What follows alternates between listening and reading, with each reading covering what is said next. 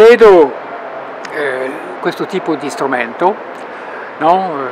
videocamere e altro, come eh, la base della cultura elettrica, elettronica, digitale, sono tutte le stesse cose, come la penna è stata per la cultura della carta e della scrittura, la penna era il sistema meno costoso per creare individualmente un contenuto e durante mille anni ha servito e di più ha servito a creare identità, individualità e altre cose. Che succede oggi? Oh, succede che abbiamo a disposizione i ragazzi della scuola hanno a disposizione il strumento gratuitamente il più costoso della storia della comunicazione.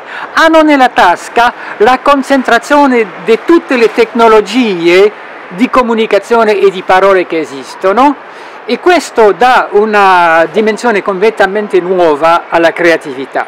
Oggi la nuova letteratura è l'app, l'applicazione, è il YouTube, YouTube è la forma d'arte, la televisione che torna a forma d'arte.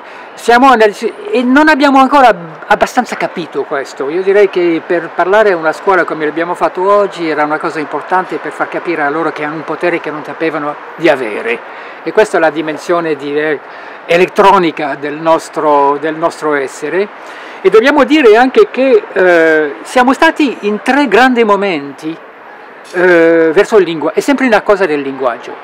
Quando il linguaggio è portato dal corpo, nella cultura orale, è sempre espresso, tu non hai dentro di te un linguaggio molto complesso, sei capace di fare poemi, sei capace di fare grandi canzoni della storia della cultura tribale, no? tutto questo si capisce, però è sempre un, è un meritaggio comune, è sempre espresso. Invece quando tu impari di scrivere, tu prendi possessione del linguaggio. Prendendo possessione del linguaggio, prendi possessione del tuo proprio destino. Tu lo scrivi il tuo destino nelle prime eh, come dire, eh, task che tu hai da fare nella scuola. Tu impari di controllare il linguaggio. Adesso l'elettricità venendo via un, un, schermo fa che tu scambi con il schermo il potere sul linguaggio e infatti il potere viene molto di più della rete che della tua mente e tu stai esportando le tue strategie cognitive direttamente sul schermo e sulla rete. Questo è una, un scambio tra personalizzazione di se stesso esportazione di se stesso. Adesso pubblicare il suo profilo, creare il suo proprio avatar, diciamo, il suo profilo su Facebook e letteralmente curare molto di più la tua immagine pubblica che la tua immagine personale interna.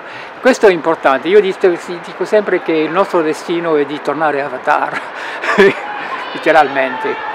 E per questo sono, sono studiando adesso che sono le conseguenze di questa questa dimensione dell'estensione del corpo globalmente via la rete, l'estensione del sistema nervoso eh, che porta come conseguenze certamente sociali, psicologiche ma anche politiche, anche le rivelazioni di Edward Snowden creano un'ansia adesso sulla quantità di informazione che circola su di noi, il big data, noi siamo big data, che fanno con questo, io lo chiamo l'inconscio eh, digitale, tutto che si sa su di te che tu non sai e che ha così importanza nella tua vita e le, tue scelte e il tuo modo di essere che quello di papà e mamma, capisci? Freud, ciao, adesso inconscio digitale, capisci? Un po' questo è il problema.